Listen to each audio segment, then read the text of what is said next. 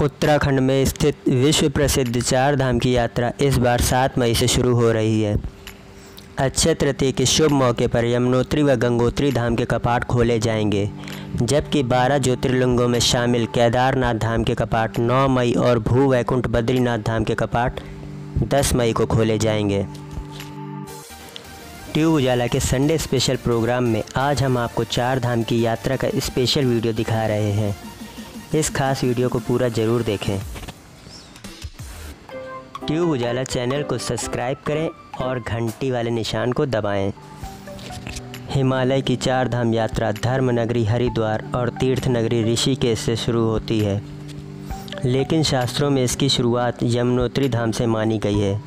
देवी यमुना भक्ति की अधि, अधिष्ठात्री हैं। स्कंद पुराण के केदार खंड में कहा गया है कि भक्ति के बिना ज्ञान की प्राप्ति संभव नहीं।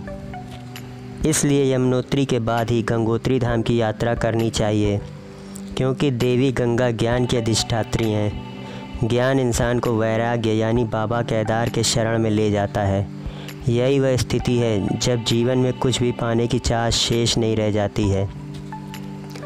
शास्त्रों में कहा गया है कि यही निर्विकार भाव जीव को भगवान बद्री विशाल की शरण में ले जाता है। इसलिए बद्रीनाथ धाम को पृथ्वी पर वैकुंठ यानी भू वैकुंठ की उपमा दी गई है। हालाँकि यह कोई शास्त्रीय बंधन नहीं है और आप अपनी सुविधा के अनुसार किसी भी धाम की यात्रा कर सकते हैं। उत्तरकाशी ज़िले में स्थित यमुनोत्री धाम को चार धाम यात्रा का प्रथम पड़ाव माना गया है। यहाँ सूर्यपुत्री और शनि व यम की बहन देवी यमुना की आराधना होती है। समुद्र तल से 3,235 मीटर की ऊंचाई पर स्थित यमुनोत्री धाम से एक किलोमीटर की दूरी पर चंपासर ग्लेशियर है जो यमुना जी का मूल उद्गम है। समुद्र तल से इस ग्लेशियर की ऊंचाई 4,421 मीटर है। धर्म ग्रंथों में उल्लेख है कि यह पवित्र स्थान एक साधु असित मुनि का निवास स्थल था। उन्होंने यहाँ देवी यमुना की आराधना की। जिससे प्रसन्न हो यमुना जी ने उन्हें दर्शन दिए। यमुनोत्री धाम पहुँचने के लिए जानकी चट्टी से छः किलोमीटर की खड़ी चढ़ाई पैदल तय करनी पड़ती है। यहाँ पर स्थित यमुना मंदिर का निर्माण जयपुर की महारानी गुलेरिया ने 19वीं सदी में कराया था।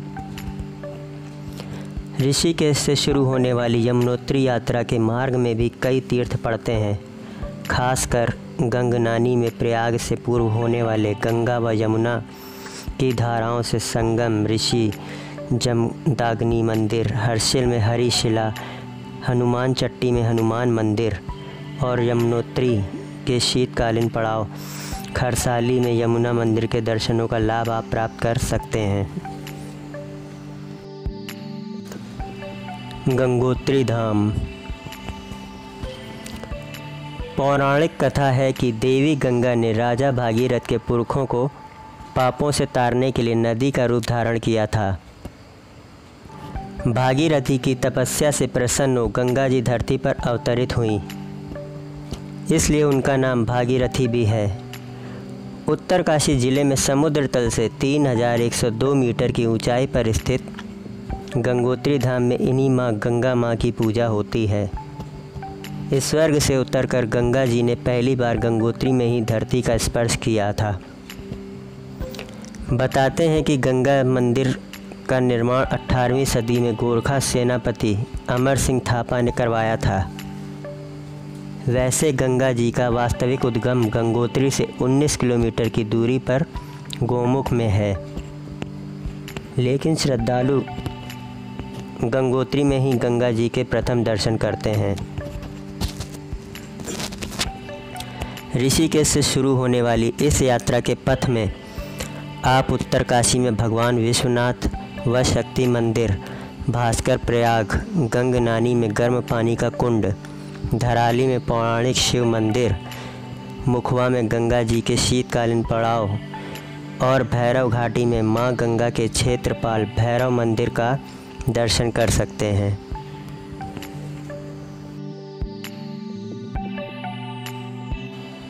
केदारनाथ धाम।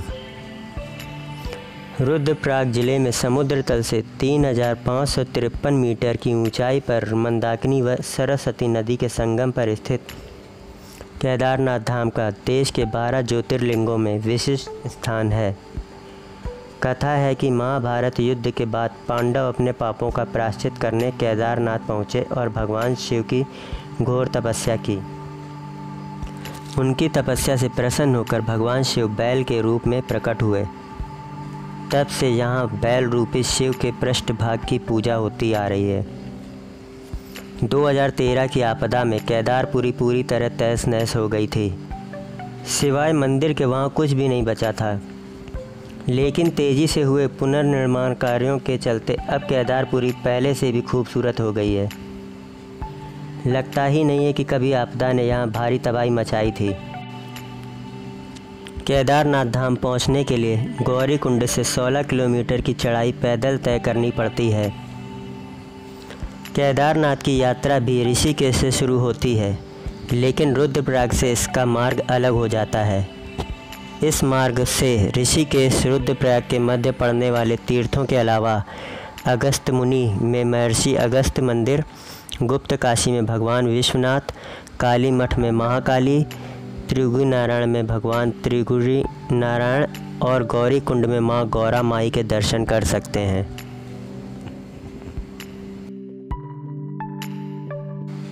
बद्रीनाथ धाम। नर नारायण पर्वत के मध्य में विराजमान बद्रीशपुरी को भगवान विष्णु का धाम माना गया है। धर्म ग्रंथों में उल्लेख है कि बहुनी शांति तीर्थानी दिव्य भूमि रसातले, बद्री सदृश्य तीर्थ न भूतो न भविष्यति। अर्थात स्वर्ग और धरती पर असंख्य तीर्थ हैं, लेकिन बद्रीनाथ सरीखा तीर्थ न कोई था, न कोई है और ना ही कोई होगा। गंगा जी ने जब स्वर्ग से धरती के लिए प्रस्थान किया तो इसका वेग इतना तीव्र था कि संपूर्ण मानवता खतरे में पड़ जाती। इसलिए गंगा जी बारह पवित्र धाराओं में बढ़ गईं। इन्हीं में एक अलकनंदा जिसके तट पर बद्रीनाथ धाम स्थित है। समुद्र तल से 3,133 मीटर की ऊंचाई पर चमोली ज़िले में स्थित इस मंदिर का निर्माण 18वीं सदी में आग गुरु शंकराचार्य ने करवाया था। बद्रीनाथ धाम की यात्रा ऋषिकेश से शुरू होती है। इस मार्ग पर सर्वप्रथम पंच प्रयागों में श्रेष्ठ देव प्रयाग और यहाँ स्थित पौराणिक एवं ऐतिहासिक रघुनाथ मंदिर के दर्शन होते हैं। यहाँ से आगे यात्री श्रीनगर में कमलेश्वर महादेव कली या सौड़ में सिद्धिपीठधारी देवी, रुद्रप्रयाग में अलकनंदा व मंदाकिनी नदी के संगम करण प्रयाग में अलकनंदा व पिंडर नदी के संगम नंद प्रयाग में अलकनंदा व मंदाकिनी नदी के संगम जो जोशीमठ में भगवान नरसिंह बद्री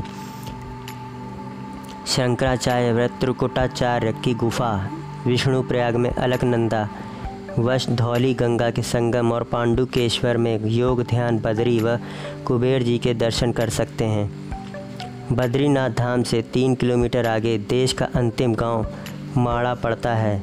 इसके आसपास यात्री व्यास गुफा, गणेश गुफा, सरस्वती मंदिर भीम पुल वसुधारा आदि के दर्शन कर सकते हैं। श्री हेमकुंड साहिब। चमोली ज़िले में समुद्र तल से चार हज़ार तीन सौ उनतीस मीटर की ऊंचाई पर झील के किनारे अवस्थित गुरुद्वारा हेमकुंड साहिब को हिमालय का पांचवा धाम कहा गया है। यह स्थान बद्रीनाथ राजमार्ग पर गोविंद घाट से साढ़े उन्नीस किलोमीटर की दूरी पर है। गुरु ग्रंथ साहिब के अनुसार इस स्थान पर सिखों के दसवें गुरु गोविंद सिंह महाराज ने अपने पूर्व जन्म में तपस्या की थी। इसके समीप ही लोकपाल लक्ष्मण मंदिर भी है। हेमकुंड साहिब लोक, लोकपाल लक्ष्मण मंदिर के कपाट इस बार एक जून को खोले जाएँगे। उत्तराखंड में स्थित विश्व प्रसिद्ध चार धाम की यात्रा इस बार सात मई से शुरू हो रही है। अक्षय तृतीया के शुभ मौके पर यमुनोत्री व गंगोत्री धाम के कपाट खोले जाएँगे, जबकि बारह ज्योतिर्लिंगों में शामिल केदारनाथ धाम के कपाट 9 मई और भू वैकुंठ बद्रीनाथ धाम के कपाट 10 मई को खोले जाएँगे। समुद्र तल से 4000 मीटर की ऊंचाई पर होने वाली यह यात्रा धर्म, अध्यात्म ही नहीं, रहस्य, रोमांच से भी भरपूर होती है। यह तन मन को शांति, सुकून व शीतलता तो प्रदान करती ही है। उत्तराखंड की संस्कृति और लोक परंपरा, परंपराओं के दर्शन भी करवाती है। तो ये था आज का हमारा संडे स्पेशल प्रोग्राम मैं उम्मीद करता हूँ आप लोगों को ये प्रोग्राम पसंद आया होगा। मुझे कमेंट बॉक्स में ज़रूर बताएँ कि आप लोगों को ये प्रोग्राम कैसा लगा और अपनी राय मुझे ज़रूर दें। अगले संडे को एक नए प्रोग्राम के साथ हम आपसे मिलेंगे इसी चैनल ट्यूब उजाला पर।